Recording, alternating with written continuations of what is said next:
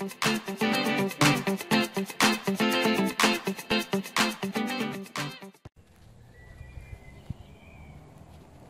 chào tất cả các bạn. Với video này, mình sẽ chia sẻ với các bạn cách trồng rau muống. Và khi có rau muống rồi thì mình nấu với tất cả các loại bún với rau muống.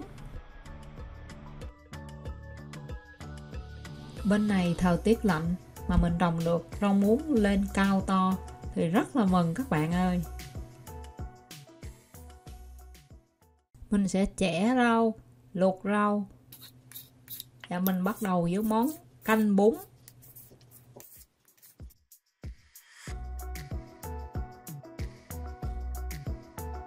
Mình làm riêu, mình nấu xương, rồi mình múc ra tô.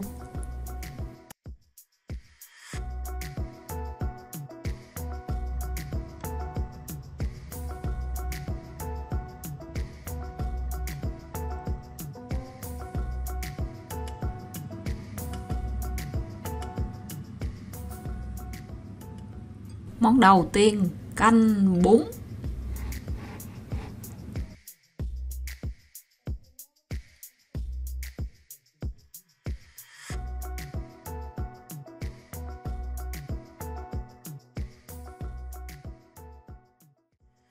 Và món kế tiếp là thịt bò bóp rau muống.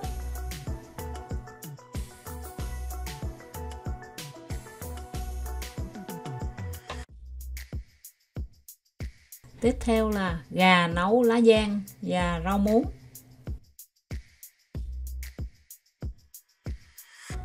Và lẩu thái rau muống. Và gỏi vịt bóp rau muống.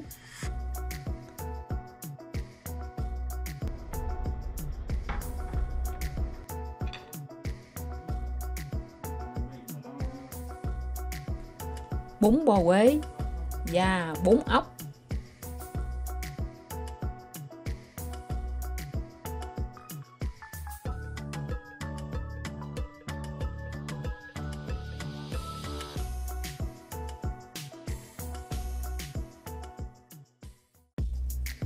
Reel riêu rất là hấp dẫn các bạn.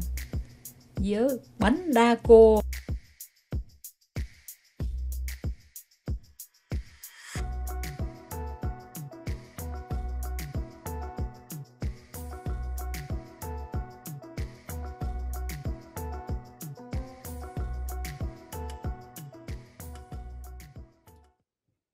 Mình lại tiếp tục nấu món canh bún khi mình nấu thì cả nhà ăn chung nhưng mà mình bỏ huyết vô mình nấu riêng. Ừ.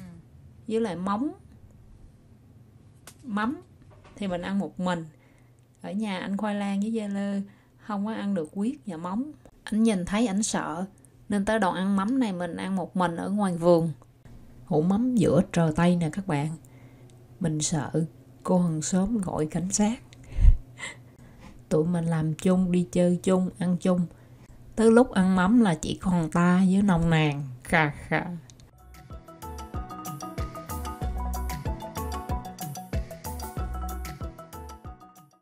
Lần này mình nấu bún riêu và tiếp tục nấu nồi bún riêu nữa. Đợt này mình không nấu giò, mình nấu da với sườn heo. Mình sẽ đổi không khí ra vườn trồng rau nhé các bạn. Trồng rau xong, mình sẽ nấu tiếp món bún bò quế và bún mắm. Mình bắt đầu ngâm hạt giống.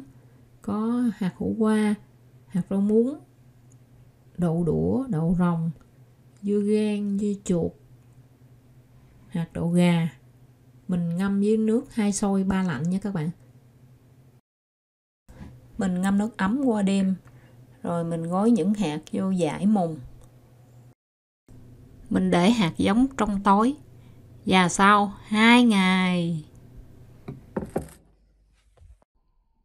Nhìn mấy ẻm nảy mầm, rất là thích các bạn. Mình gieo hạt rau muống xuống khoảng 3 cm và hàng cách hàng 15 cm thời gian đầu, một ngày mình tưới hai lần. Nhưng trồng rau muống này quan trọng là phải có nắng từ 25 độ trở lên thì rau muống lên cao và tốt 25 độ C nha các bạn ở Hà Lan có những năm mùa hè trời không ấm lạnh nên những loại rau của châu Á không có lên tốt Zo, goed. Mm, Dan kun je 1, 2, 3, 4. Daar. Hier nog. mình thì trồng rau anh khoai lang cưa cây làm vàng để trồng nho và trồng hoa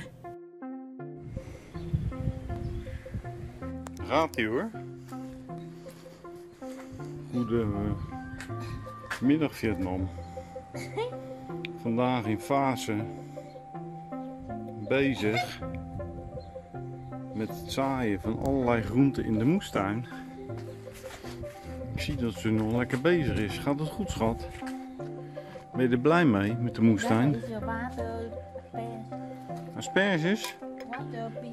Een waterspinazie. Ja, ah. Ik ga kijken. Đậu đũa, Ja? cải bẹ xanh, Oh, wat heb je veel? dưa. Ja. Waar heb je dat gekocht? In eh, Vietnam, in eh, Nederland. Overal. En hoe lang duurt het voordat dat eh, gaat groeien?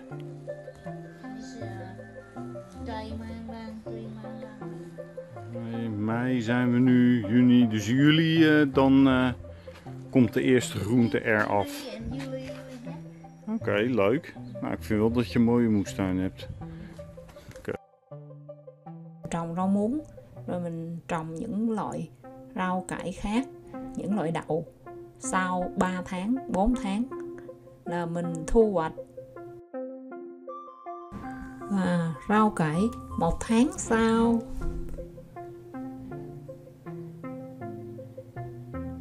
Hai tháng sau. Hai tháng rưỡi. Và ba tháng ba tháng rưỡi.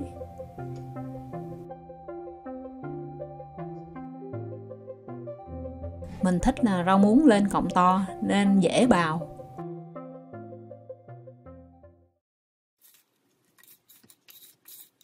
Mình cứ bào bào. Rồi mình nấu bún riêu, bún bò quế và bún mắm. Rồi mình tiếp tục với món bún riêu.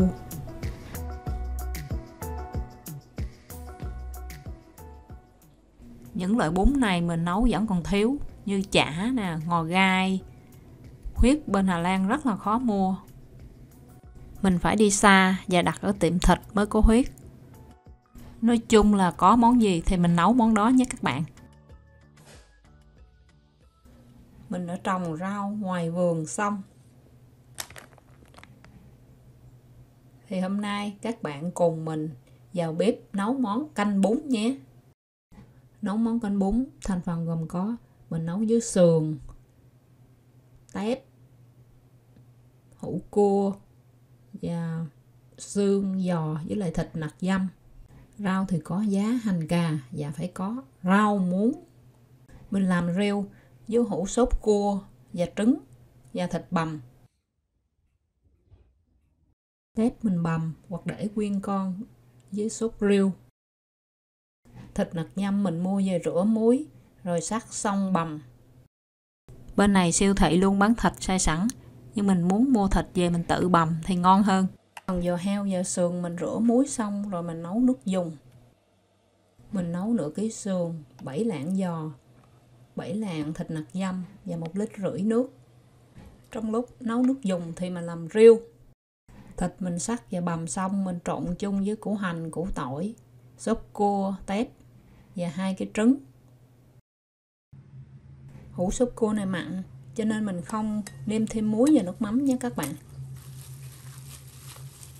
Mình trộn tất cả với nhau. Vậy là xong phần riêu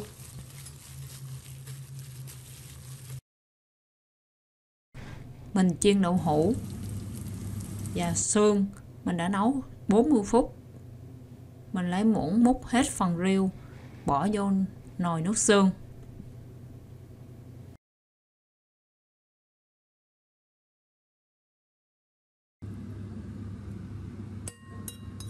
Mình bỏ thêm nửa muỗng ớt xay với dầu điều.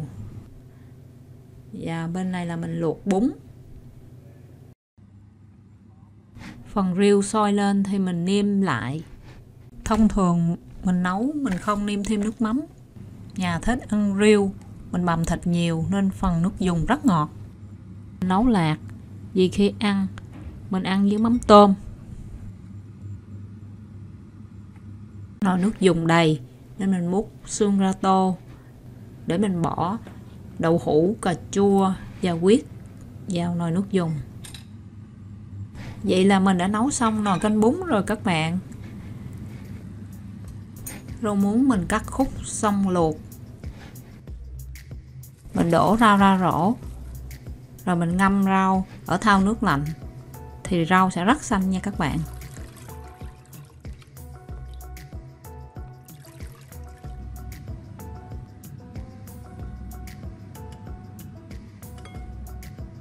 Rồi mình gấp rau, gấp bún lá tô, xong chan nước dùng lên trên.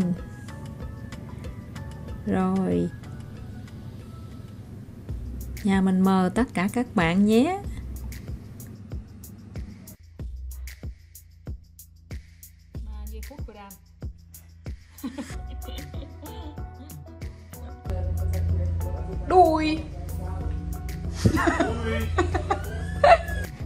Tạm biệt anh khoai lang em ra vườn một mình.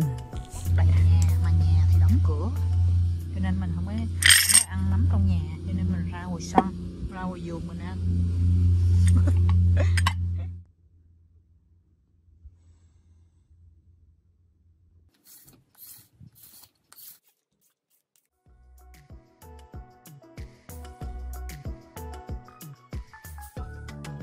Và kế tiếp là mình nấu món bún bò Quế.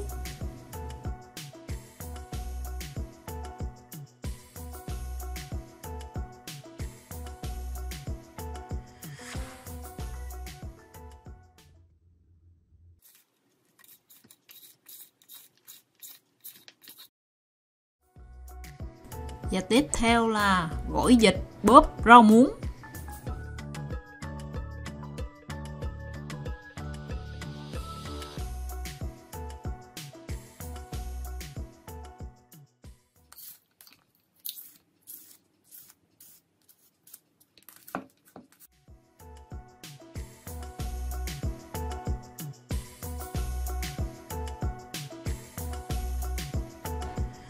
Sau cùng là món bún mắm.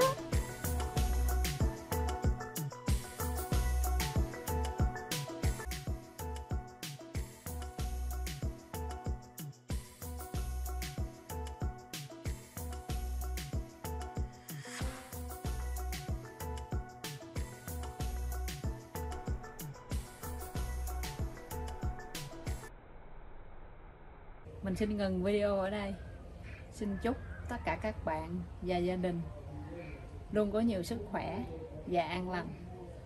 Cảm ơn tất cả các bạn đã xem video của nhà mình.